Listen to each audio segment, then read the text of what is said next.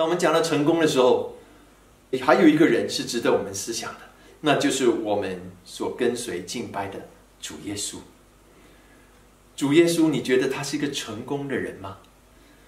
在腓立比书第二章那边有提到，他说呢，他本有神的形象，不以自己与神同等为强夺的，反倒虚己，取了奴仆的形象，成为人的样式。既有人的样子，就自己卑微，存心顺服，以至于死，却死在十字架上。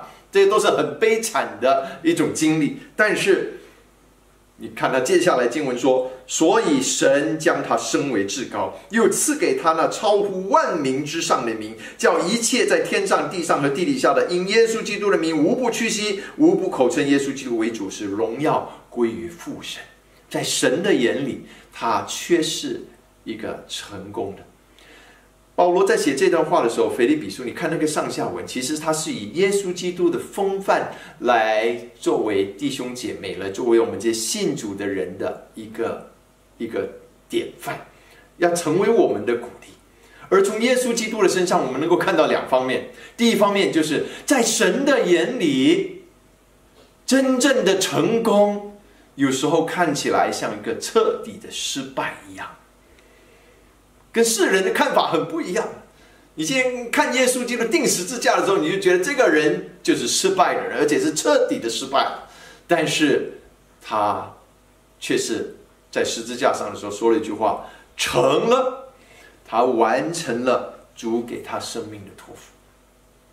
第二方面，耶稣基督所成就的事，也在告诉我们：神不是按照我们的成绩来赏赐和接纳我们的人，我们是完全靠着他在十字架上所施的恩典，被白白接纳的人。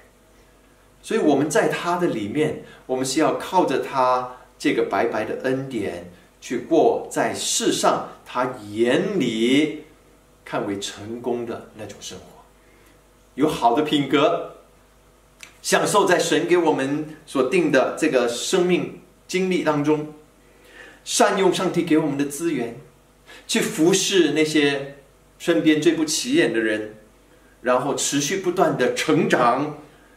衷心的坚守我们的信仰，指导建筑。